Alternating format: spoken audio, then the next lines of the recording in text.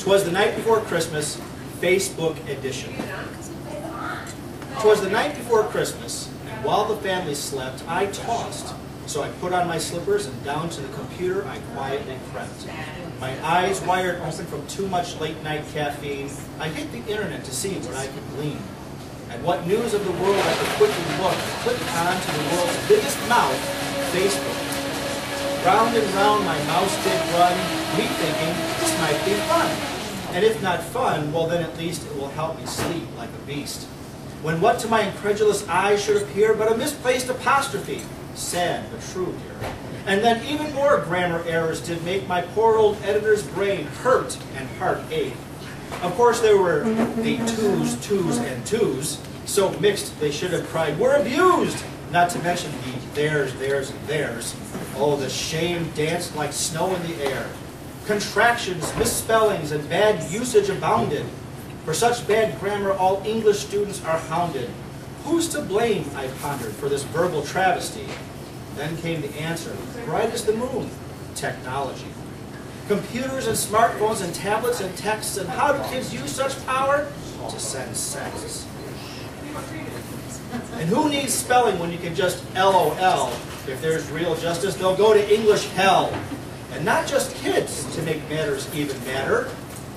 Many of the adults' posts were just as bad. They too couldn't properly combine can and not. Their wrong possessives and plurals gave me the trots.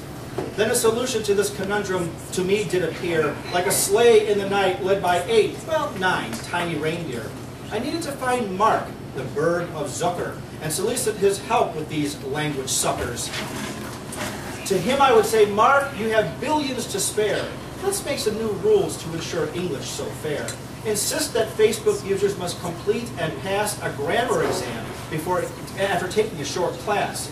And if they fail, they will not get a new password and won't be able to tell the world about their turds. This should be threat great enough to curb the abuse of the English language and ensure proper use. I reached Zuckerberg. He was in the online phone. He said he liked my plan and that he felt like a schnook for helping to unleash bad grammar on the world when he merely wanted to embarrass a girl. You ever seen that? Okay. As visions of affect and effect, rightly used, danced in my head, I smiled joyously for a good deed well done and went back to bed. I dreamt of a new day when word choice would again matter, then awoke to my kids' cries, creating such a clatter. As the holy morning broke, the kids tried to post their status. They tried to hit Facebook, but found out that they had no access. They glared at me, mouths agape with horror, as I shared my tale of Christmas Eve night. This is my greatest gift, I said. Merry Christmas to all, and to all a good right.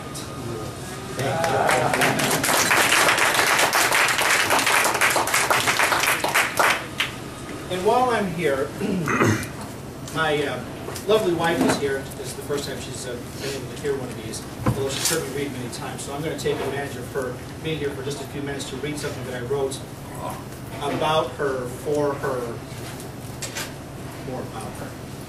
This one, uh, my daughters and I, my youngest daughter is also here, are huge White Sox fans.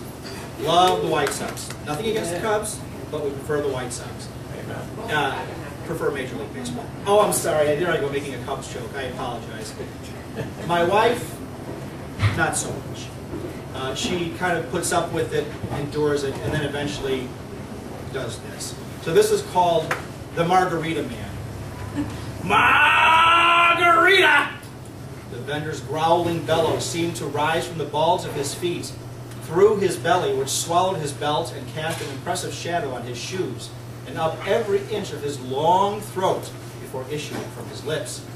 His voice reached to the top deck of the U.S. Cellular Field, better known as the Cell, where the world champion Chicago White Sox play. As he traipsed down the concrete steps towards the bottom of the stadium, then back up again, then over to the next row, it was quite an impressive display, giving new meaning to the idea of throwing your voice. We heard him coming our way from several aisles over, and my wife ordered one of the frozen treats when he eventually settled in our area. We sat in the sixth row from the rail, no more than 30 feet from Sox left fielder and blossoming superstar Carlos Lee. A big man, as outfielders tend to be, Lee was better known for hitting long, screaming home runs than for his glove work. Yet he was having an exceptionally good early season, both at the plate and in the field. And there we were, bathed in bright, warm, late spring sunshine. I sat with my two daughters and wife, ready to enjoy the game against the Oakland A's.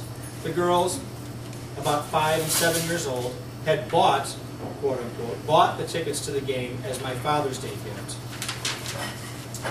Well, I actually got the tickets gratis from a business associate, and the girls did not have revenue sufficient enough to actually, you know, buy me a souvenir, and I even had to pay for parking. Still, we were together at a baseball game. A real Norman Rockwell moment, if ever there was one.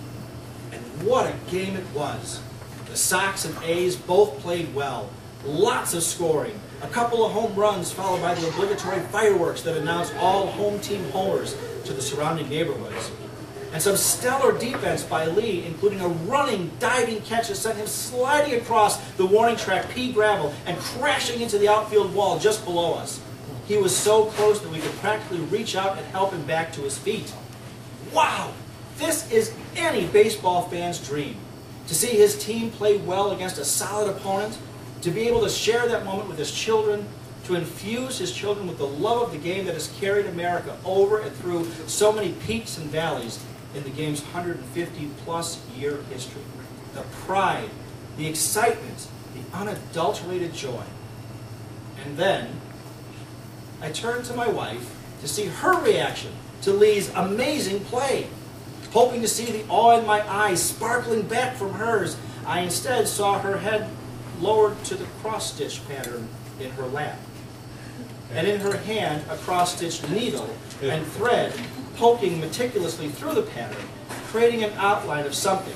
I have no idea what it was, but it sure the hell wasn't a picture of anything having to do with baseball.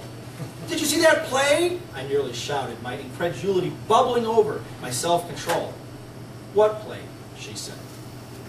I stared at her, expecting, uh, expecting a half smile or a cracked voice, some sign that she was only teasing me. Nothing. That play, right there in front of us! I jabbed emphatically to left field where Carlos Lee had resumed his position about 50 feet away and stood brushing the red dust from his uniform. Oh, no. She couldn't have been more nonchalant or disinterested if her middle name were Cucumber. Nearly apoplectic, I turned back to the game. The inning ended without any damage to the Sox, and the teams changed positions on the field. Seconds later, my wife's cell phone rang. Hello? Hey, how are you?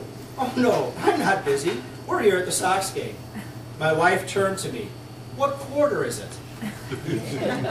Baseball doesn't have quarters, it has innings, and we're in the sixth inning. Both my volume and my temperature running dangerously hot. She returned to her phone and continued chatting about who knows what. Then she turned back to me. Who are we playing? My head felt like Mount Vesuvius just before it spewed death over thousands of the most unlucky Italians in history. Are you kidding? It's the Oakland A's. They're right there. I pointed again to left field where a giant black man stood wearing a lime green, lemon yellow, and white uniform with a big A apostrophe S on his chest and hat. Oh, okay, she said, again turning to her phone. The Oakland A's, I guess. My blood boiled faster with each non-baseball related chuckle and reference to stitching, work, the weather, anything but the fantastic game happening right in front of us. Finally, I resigned myself to enjoying the afternoon with my daughters. They were well on their way to becoming hardcore baseball and most especially White Sox fans, just like their dad. Years later, we still routinely go to several baseball games together. Sometimes we bring family and sometimes we bring friends, but not my wife.